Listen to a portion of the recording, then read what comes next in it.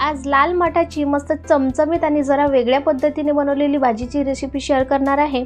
आता तुम्ही म्हणाल की लाल माठाची भाजी आम्हालासुद्धा बनवता येतं. त्यामध्ये काय नवीन अशी वेगळी भाजी तुम्ही बनवणार आहात? तर आजच्या रेसिपीमध्ये तुम्हाला लाल मठाची जरा मी वेगळ्या पद्धतीने बनवलेली आणि यामध्ये थोडासा वेगळा ट्विस्ट ॲड करून बनवलेली भाजी शेअर करणार आहे. ज्यामुळे लहान मुलांनासुद्धा ही भाजी खायला आवडेल. ही मी दोन मोठ्या चुळ्या लाल माठाची भाजी घेतली आहे. आधी भाजी मस्त निवडून तोडून घेतली आहे. नंतर दोन तीन वेळा स्वच्छ पाण्याने धुवून चाळणीत काढून ठेवली आहे म्हणजे पाणी व्यवस्थित निटळेल भाजी घेताना शक्यतो मीडियम साईजच्या पानांची भाजी घ्या. मोठ्या पानांची भाजी घेऊ नका. मोठ्या पानांच्या भाजीपेक्षा छोट्या पानांची भाजी खायला जरा टेस्टी लागते. म्हणून मी इथे बारीक माठ घेतलेला आहे.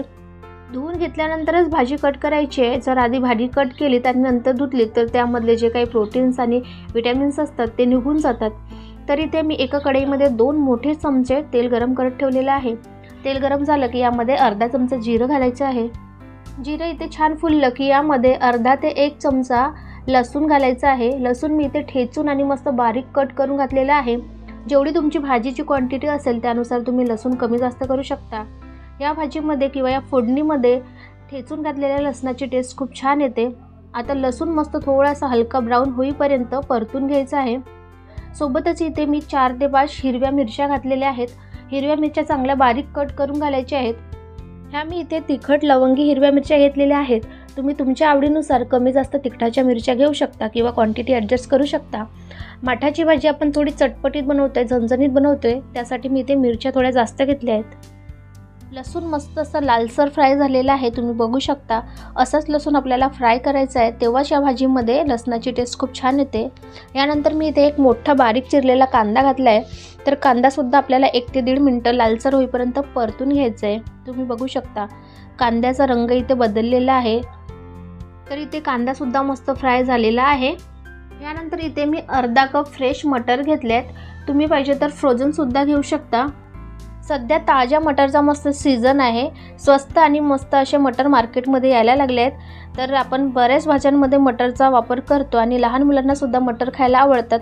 म्हणून या भाजीमध्ये मी मटर आणि बटाटा घातला आहे अर्धा कप मटर आणि एक मोठा बटाटा मीडियम साईजच्या तुकड्यांमध्ये कट करून घातला आहे तर सर्वात आधी आपल्याला मटर आणि बटाटा या कांद्या आणि लसूणमध्ये परतून घ्यायचं आहे कारण भाजी शिजायला आपल्याला वेळ लागत नाही. पण मटर आणि बटाटे शिजायला थोडा वेळ लागतो. आणि ते लवकर शिजावेत म्हणून मी इथे थोडंसं मीठ घातलं आहे तुम्हाला जर अंदाज समजत नसेल तर थोडंसं मीठ घाला. बाकी भाजी शिजल्यानंतर अजून मीठ घालू शकता. अर्धा चमचा हळद घातली आहे हळद आणि मीठ घातल्यानंतर मटर आणि बटाटा मस्त मिक्स करून घ्यायचं फोडणीमध्ये. एकदा मिक्स झाला की त्यावर झाकण ठेवून आता दोन ते तीन मिनटं आपल्याला वाफ काढून घ्यायची आहे एक मिनटं झाला की मध्ये एकदा मिक्स करून घ्या. म्हणजे खाली बटाटे चिकटणार नाहीत. परत झाकण ठेवून एक मिनटं अजून शिजू द्यायचं आहे सुरुवातीला आपण थोडंसं मीठ घातलं होतं त्यामुळे बटाट्याचं आणि मटरचं पाणी ते रिलीज होतं आणि त्याच पाण्याच्या वाफेमध्ये ते मस्त सॉफ्ट शिजतात. तर इथे आधीपेक्षा मटर आणि बटाटे सॉफ्ट झालेले आहेत. तर आता यामध्ये आपल्याला टमाटर घालून घ्यायचे आहे. इथे मी एक मोठा पिकलेला टमाटर बारीक कट करून घेतलेला आहे. सध्या बाजारात मस्त गावरान टोमॅटो यायला लागले आहेत आणि त्याची मस्त आंबट अशी चव असते आणि ते खायला खूप टेस्टी असतात. ते मिळाले तर तुम्ही नक्की घ्या.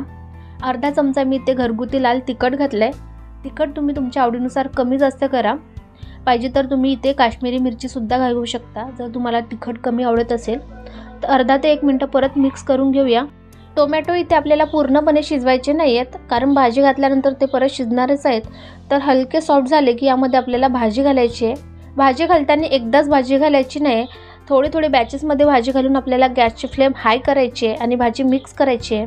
गॅसची फ्लेम हाय ठेवून भाजी मिक्स केली तर ती लवकर सुकते आणि आपण छोट्या कढईमध्ये सुद्धा जास्त क्वांटिटीमध्ये भाजी बनवू शकतो. पालेभाज्यांचं असंच असतं की आपण थोडं थोडी भाजी घालून मिक्स करत जायची. जशी ती सुकली की सेकंड बॅचमधली भाजी अशी घालून मिक्स करत जायचं. तुम्ही बघू शकता. आपण किती भाजी घातली होती आणि ती सुकून आता किती झाली आहे? थोडी थोडी भाजी घालून मी इथे मिक्स करून घेतली आहे. आणि मिक्स करून झाल्यानंतर तिची क्वांटिटी आता किती झाली आहे? अर्ध्यापेक्षा कमी भाजी आपल्याला इथे दिसते. तर गॅसचा फ्लेम मी इथे हाय ठेवला होता आणि दोन ते तीन मिनटं भाजीला थोडीशी सुकवून घेतली आहे.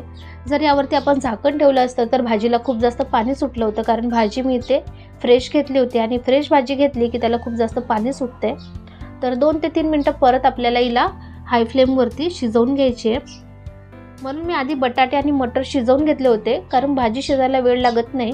आता अर्धा ते एक मिनटं आपल्याला झाकण ठेवायचं आहे आणि वाफ काढून घ्यायची आहे. अर्धा ते एक मिनटं झालेलं आहे.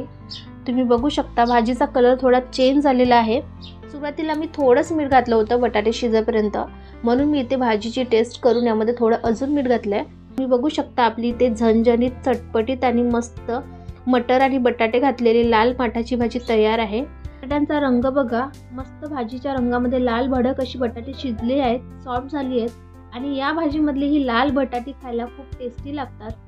तुम्ही सुद्धा अशा प्रकारे मटर आणि बटाटा घालून चमचमीत अशी लाल माठाची भाजी बनवून बघा. मटर घातले आहेत बटाटे घातलेत तर लहान मुलांना ही भाजी जास्त आवडेल आणि त्यामुळेच ते खायला मागतील. भाकरी किंवा चपातीबरोबर खा किंवा डाळ भाताबरोबर सुद्धा ही भाजी खाल्ली तरी खूप मस्त लागते. तर अशा प्रकारे बनवलेली ही लाल माट्याची भाजी तुम्हाला कशी वाटली ते कमेंट्समध्ये नक्की सांगा. रेसिपी आवडली असेल तर रेसिपीला लाईक करा. चॅनलला सबस्क्राईब केलं नसेल तर लगेच चॅनलला सबस्क्राईब करा. सोबत बाजूला बेल बटन दिलेलं आहे ते सुद्धा प्रेस करा. म्हणजे नवीन येणाऱ्या रेसिपीचे अपडेट सर्वात आधी तुम्हाला मिळतील. चला तर परत भेटूया अशाच एका ट्विस्ट के साथ टेस्टवाल्या रेसिपीसोबत तोपर्यंत मस्त खा आणि स्वस्त राहा. Thanks for watching